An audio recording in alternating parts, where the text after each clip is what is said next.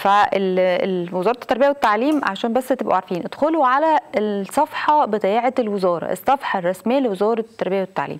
هتلاقوا فيها فيديو توضيحي نشرته الوزارة فيها إزاي تجاوب على أسئلة الامتحان. وده ليه؟ لأن برضو لسه في ناس مش متعودة أو ما اتدربتش كويس أو قلقانة من فكرة امتحان ال bubble sheet. فانتوا عندكم 85% من أسئلة الامتحان هتبقى ال bubble sheet اللي هي بقى الاختيار بقى من متعدد.